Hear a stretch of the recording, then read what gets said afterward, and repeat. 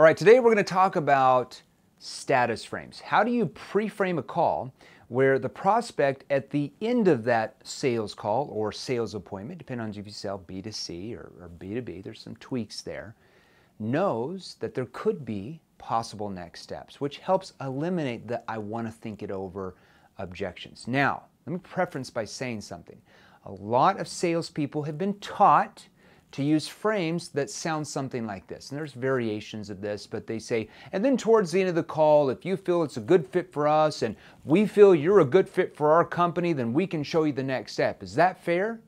Now, that's okay, but typically that's going to trigger a lot of sales resistance in a lot of people. Okay, now let me tell you why because you probably experienced if you use it. First of all, go down to the bottom of this video, hit the subscribe button. That's probably important for you. Hit the subscribe button, and to the right of that, or maybe the left, I don't know, somewhere in there, there's like a little bell. That's your notifications button.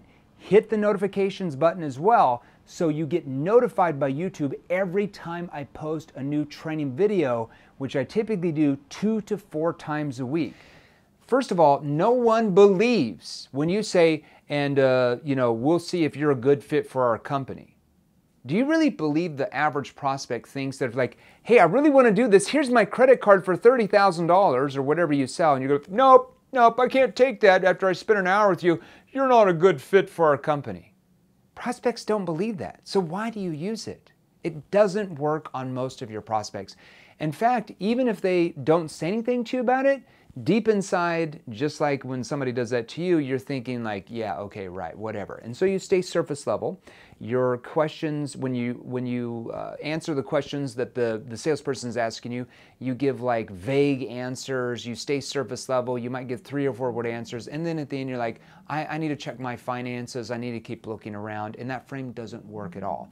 The second thing it does is it triggers sales pressure in the prospect's brain. So the rest of that conversation they think when you say like, if you're a good fit for us and you feel like it's a good fit for you, you know, you can make a decision at the end. You know, you don't have to, you know, that type of thing causes most of your prospects to feel pressure.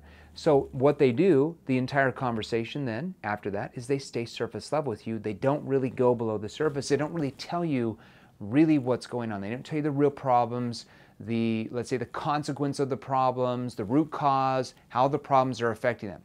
You still want to do a frame, but you got to learn how to neutralize it better. Okay, so let me help you do that. So this is called an NEPQ status frame. Now, if you're not familiar, if you're not one of our clients, NEPQ stands for Neuro Emotional Persuasion Questioning. That comes from my behavioral science background uh, and psychology background in college and university. So this is a generic example that I'm going to give you right now. Okay, so this is a generic example I'm going to give you, and then right after that generic example, I'm going to give you about three, maybe two or three different industry-specific examples so you can see how it has to be tweaked depending on what you sell. Not by much, maybe 5 10%. All right, so now this is in the first part of your conversation. We would call that the connective phase when you're asking connective questions. There's usually a couple of connective questions you're asking before this. You're not just going to start a sales call on an outbound lead or an inbound lead with a frame. And you're not going to use this if you cold call. If you cold call, this would not be used on the actual cold call. The next appointment, when you have that discovery session with them, that's when you'd use more of the frame. Okay, there's more trust and credibility there.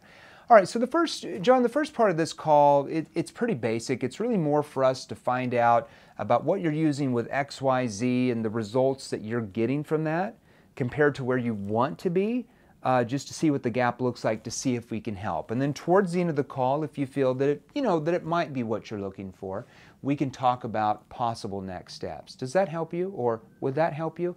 Now, I'm going to analyze and break this down. The first part of this call is pretty basic. Now, why would I downplay it? Why not say, like, oh, the first part of the call, it's really exciting. I'm going to find out about you. Because the average prospect doesn't like overly enthusiastic salespeople, just like you don't like overly enthusiastic salespeople. So when I downplay it, what that does is it causes the prospect to let their guard down.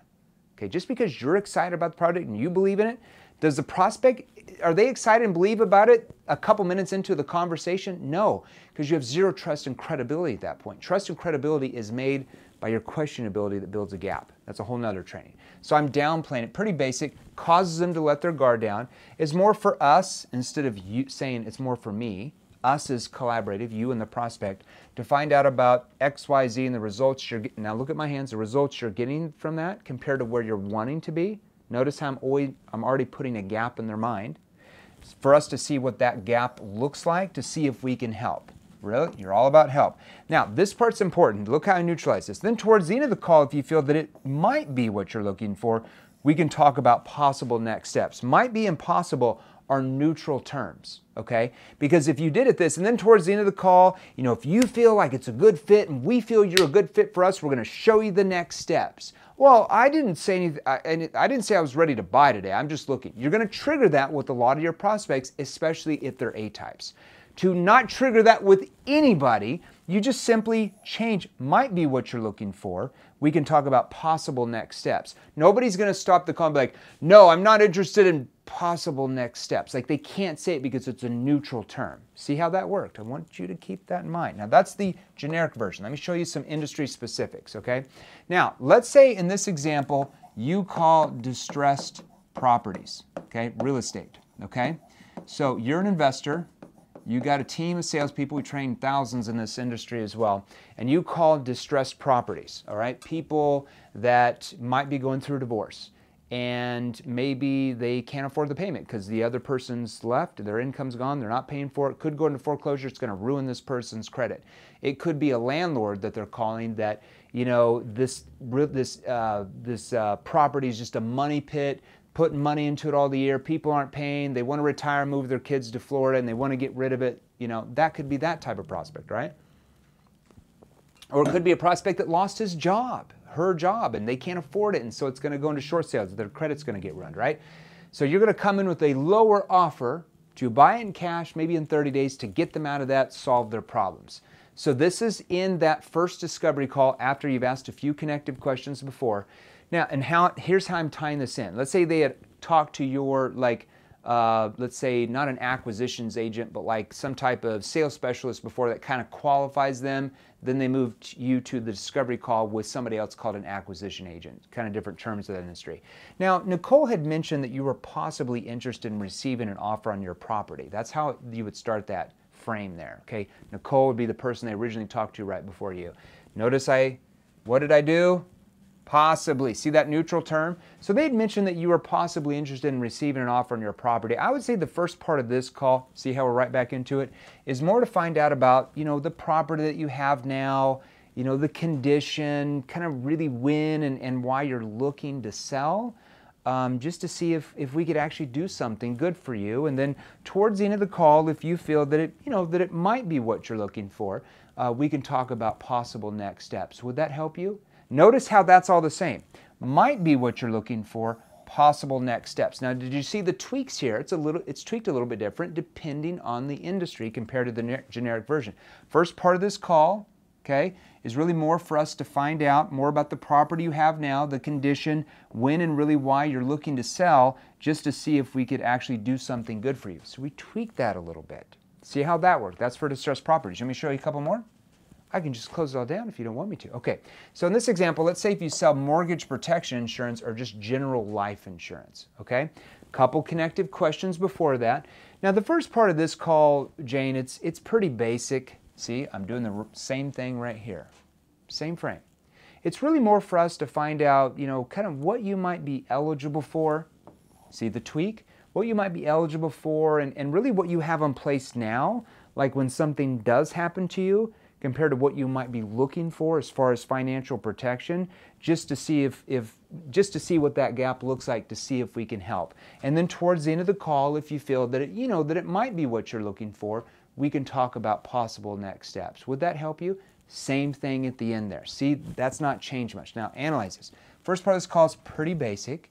It's really more for us to find out what you might be eligible for. So for this industry, we can use that to our advantage. What you might be eligible for, takeaway, what you have in place, look at the gap, what you have in place now, you're going to show the small gap.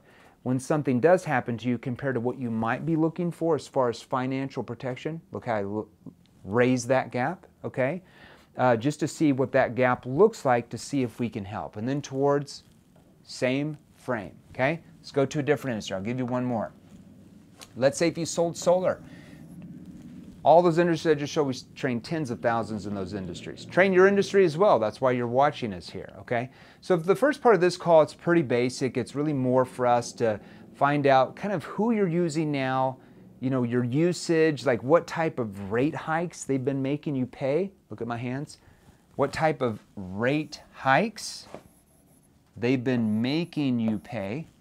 Now, for that industry, we can use that to our advantage. What type of rate hikes they've been making you pay compared to what you're trying to get your bill down to? Look what I just did there. What type of rate hikes they've been making you pay compared to what you're trying to get your bill down to? What did I just do? Built a gap there. What type of rate hikes they've been making you pay compared to what you're trying to get your bill down to? To see what that gap looks like, to see if we can help. And then towards the end of the call, if you feel that it, you know, that it might be what you're looking for, we can talk about possible next steps. Does that help? Yeah, yeah, go ahead. Okay? That's how you set a frame and you neutralize that frame, but yet you build a gap throughout that conversation after this where they start to feel and understand where they are, what their current situation really is compared to where they want to be. And that gap becomes so big because of your questioning ability and your tonality ability that they feel the only thing for them to do is to solve this problem and get what they want. Okay, and they look at you as getting them there because no one has ever made them feel, I don't want to say made them, but gotten them to feel that way because you built such a big gap from your questioning skills and your tonality. You learned how to disarm them where they let their guard down the whole time, and you build the gap from where they are, current situation, compared to where they want to be. We call that their objective state. What's the gap in between? All these newfound problems that your advanced questioning techniques have allowed them to see they had that they didn't even know they had before they got in that sales process, that conversation with you. So going back, make sure you start using those status frames, NEPQ status frames on your, especially your inbound leads. They work really well for that. And your outbound leads, if they responded to some type of ad on social media or requested information, those work really good. You won't use a status frame on an initial first cold call if you prospect that way, but you can use it on that second discovery call when you have more time with them. All right? You're welcome. And if you want more training tips like this, make sure you go to our Facebook group, salesrevolution.pro. We go live in there several times a week. And then if you want more advanced training uh, that we do when I just give away some of these free little nibbles here on YouTube and other platforms that we're on, uh, then make sure you message us in our Facebook group, salesrevolution.pro. You can book with a team member and they can go over all the different training options that we have for your industry if you want to sell a lot more than you are now. Enjoy it. Join our free Facebook group. Go to www.salesrevolution.pro. We should have a link on here somewhere. Salesrevolution.pro. Right when you join the salesrevolution.pro Facebook group because we've got thousands of entrepreneurs in there, thousands of salespeople like you, thousands of coaches, consultants, executives in there that want to sell more. Right when you join, check your DMs because we're going to message you. Some of my team is going to message you a free training called the NEPQ 101 mini course. It's going to give you a list of different questions and phrases you can use in any sales situation. That alone is going to help you sell more than what you're doing now. And we go live in the Facebook group about 3 to 4 times a week with different subject matter trainings, different Q&As, different client interviews that will also help you sell more. Join the Facebook group salesrevolution.pro. See you there.